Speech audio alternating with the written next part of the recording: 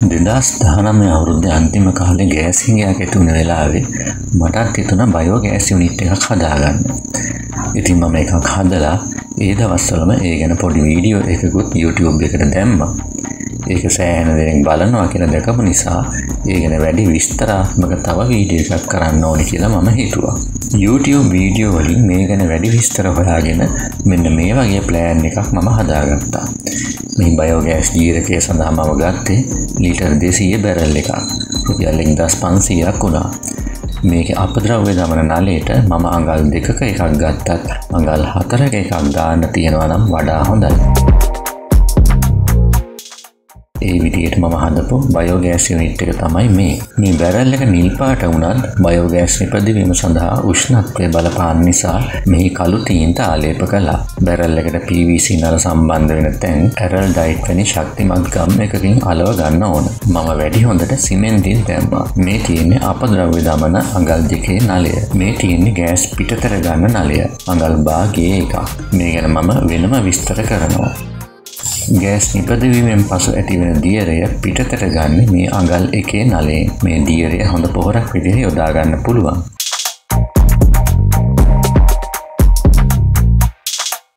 කුස්සියෙන් පිටතට ජලය ගලාගෙන නලයට මම දැනට එය සම්බන්ධ කරලා තියෙනවා. බයෝගෑස් යුනිට් එකට මුලින්ම මේ විදිර ජලය සමඟ හොඳින් කවලම් කරගත්තු ගොම දාන්න ඕන. මම මේ යුනිට් එකට ගොම කිලෝත් විස්සක් විතර දැම්මා. මුලින්ම ගොම විතරයි දාන්න ඕන. කුසියෙන් ඉවත දාන එල්ලවලු පළතුරු ඉතුරුණ බත් ආදී දමන්නේ දල්වන්න පුළුවන් විදියට දැල්ලක් ඇති වුණාට පසුවයි. මොකද බයෝගෑස් විදියට අප ගන්න මීටෙන් වායුව හදන බැක්ටීරියාව ඉක්මනින් නිපද වෙන්නේ ගොමවලින්. මුලින්ම වෙනත් අපද්‍රව්‍ය දැම්මොත් බයෝගෑස් හැදෙන්න පරක් වෙනවා. මෙතනින් තමයි ගොම ඇතුළු කරන අපද්‍රව්‍ය මේ බයෝගෑස් ජීරකයට ඇතුළු කරන්නේ.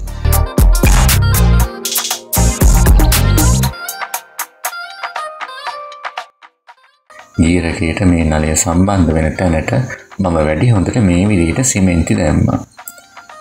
මේ තමයි බයෝගෑස් පිටතර ගන්න නලය. මම මේ ආකාරයට නල සම්බන්ධ කරලා තියෙන මොකද කියලා ඔබට සිතෙන්න පුළුවන්. ඒකට හේතුව මේකයි. මෙතනින් බයෝගෑස් පිටතට මේ නලය දිගේ රැගෙන යනවා. මේ විදියට මේ නලය දිගේ බයෝගෑස් ගමන් කරලා අර තියෙන ටියුබ් එකේ තමයි ඒ ගබඩා වෙන්නේ. ජීරකය තුළ බයෝගෑස් නිපද වෙද්දි යම් ජලය ප්‍රමාණයක් මේ නලේ දිගේ ඉහලට පැමිණීම මට ඇතැම් අවස්ථාවලදී ඇතිවුණු ගැටලුවක් වුණා.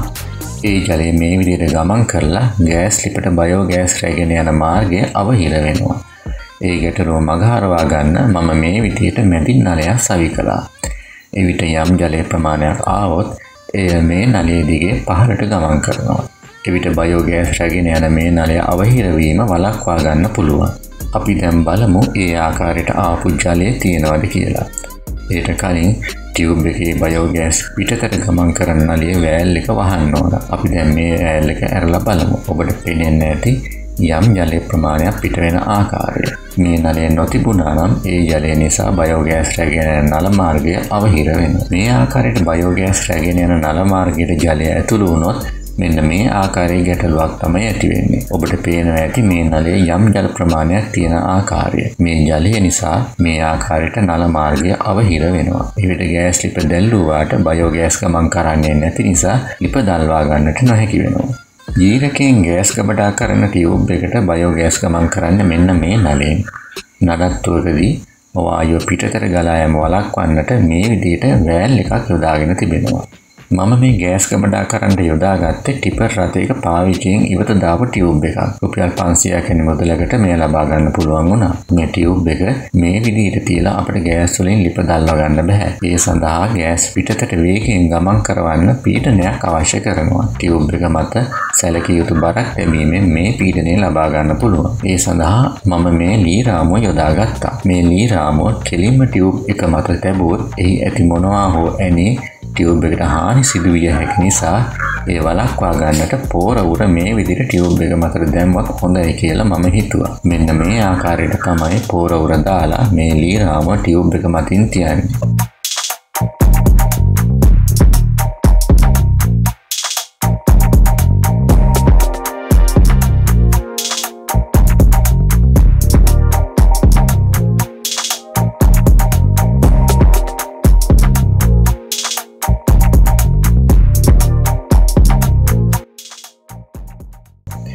අවශ්‍ය පීඩනය ලබා දෙන්න මේ ලීරාමුවේ බර පමණක් සෑහෙන්නේ නැහැ. මම කළේ මේ විදියට මෙය මත ගල් තියපු එක. ඔබට ගල් හෝ වෙනත් බරින් යුක්ත දේවල් මේ සඳහා යොදාගන්න පුළුවන්. මේ සීලු බර ඔසවාගෙන මේ ටියව් එකට බයෝගෑස් පිරෙනවාද කියලා ඔබට සිතෙන්න පුළුවන්. ඇත්තටම කිසිම ගැටලුවක් නැතුව මේ සියලු බර ඔසවාගෙන මේ ටියව් එක පුරවන්නට බයෝගෑස් වලට පුළුවන්. ඒ නිසා ගෑස් පිරෙන වෙලාවට මේ බර ඉවත් කරන්නට අවශ්‍ය වෙන්නේ නැහැ. යම් කිසි නඩත්තු කටයුත්තක් කරන්න සිද්ධ වුණොත් මේ නල කපන්නේ නැතුව පහසුවෙන් ගලවා ගැනීම සඳහා මම මේ ආකාරයට යුනියන් සහ සොකට් යොදා තිබෙනවා. ඊට මේ නල සියල්ල පහසුවෙන් ගලවා වෙන් කරගන්න පුළුවන්.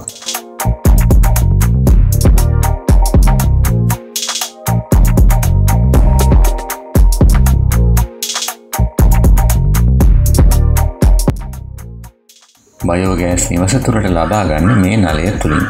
මෙතනද මම වෑල් එකක් යොදා තිබෙනවා. ලිප දක්වා ගෑස් ගෙන යන්නේ ලෙවල් බැලීම සඳහා භාවිත කරන බට මගින්. මෙන්න මේ ආකාරයට ඒ බටේ ලිපතේ ගමන් කරනවා. අපි දැන් ලිප දල්වා බලමු. මේ ආකාරයේ වැඩි වශයෙන් නිල් පැහැණි යුක්ත දැල්ලක් ඔබට බලාගන්න පුළුවන්. හොඳින් පිරුණු ටිපර ටියුබ් එකකින් පැය භාගයක පමණ කාලයක් ගෑස් ලබා ගන්න පුළුවන්. ඔබ අපද්‍රව්‍ය දමා ජීරකයට හොඳින් සලකන තරමට එයින් අපට වැඩි වැඩියෙන් ගෑස් නිපදවා දෙනවා. මගෙන් කීප දෙනෙක් අහපු ප්‍රශ්නයක් තමයි බයෝගෑස් වෙනුවෙන් හදපු ලිප් වෙනම ගන්න තියෙනවද කියන එක. මේ වගේ ලිප් තියෙනවා හැබැයි රුපියල් හය දාහක් පමණ වෙනවා. නමුත් වෙළඳ පලේ රුපියල් දාහකට පමණ මිලට ගන්නට ඇති ආප ලිපක් අපට පහසුවෙන්ම බයෝගෑස් ලිපක් බවට හරවගන්න පුළුවන්. මේ ආපලිප තනා තියෙන්නේ සාමාන්‍ය ගෑස් සමඟ භාවිත කිරීමටයි. එවන්නක් මිලටගෙන ඒ ආකාරයෙන්ම බයෝගෑස් නලයට සම්බන්ධ කලාට දැල්වෙන්නේ නැහැ. අපි එසේ සම්බන්ධ කොට බලමු. ගෑස් නල සම්බන්ධ කරන සෑම අවස්ථාවකදීම ගෑස් කලිප් එකක් යොදාගන්න අමතක කරන්න එපා.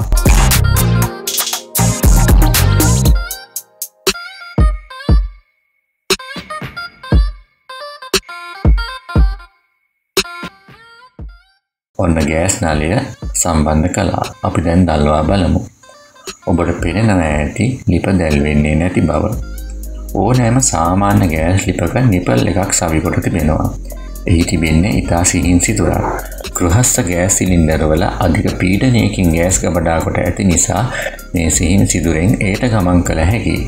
නමුත් බයෝගෑස් වලින් අපට එවැනි අධික පීඩනයක් ලබා ගන්නට නොහැකි නිසා මේ සිහින් සිදුරෙන් ඒට ගමන් කළ නොහැකි. මේ නිසා අප මේ නිපල් එක මේ ආකාරයට ගලවා ඉවත් කළ යුතු වෙනවා.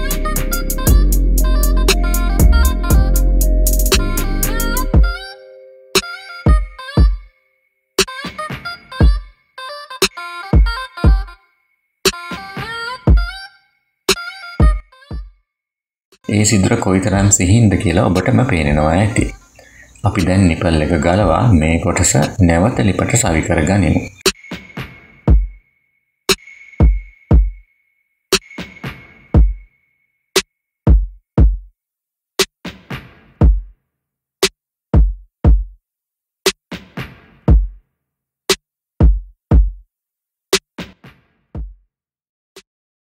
මේ ඇනය කරකැවීමෙන් ලිපට ලැබෙන ඔක්සිජන් ප්‍රමාණය අඩු වැඩි කරගන්නට පුළුවන්. දැන් අපි බයෝගෑස් නලය ලිපට සම්බන්ධ කර ගනිමු.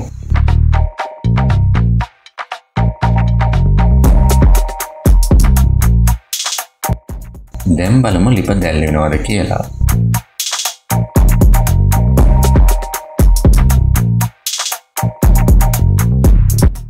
ඔබට පෙනෙනව ඇති දැන් හොඳින් ලිප දැල්වෙන බව. මෙන්න මේ විදියට තමයි සාමාන්‍ය ගෑස් ලිපක් බයෝගෑස් සඳහා සකස් කරගන්නේ. ඉතින් දැන් ඔබටත් පුළුවන් මගේ මේ අත්දැකීමත් එක්ක YouTube එකේ ඇති තවත් වීඩියෝ නරඹලා ඔබටම ගැලපෙන ආකාරය බයෝගෑස් යුනිට් එකක් තනිවම සාදාගන්න. සාර්ථකව එවැනි යුනිට් එකක් සාදාගත්තොත් අනුන්ගේ ගෑස් බලන්නේ නැතුව ඔබේම ගෑස් නිවසේ භාවිතයට ගන්න පුළුවන්.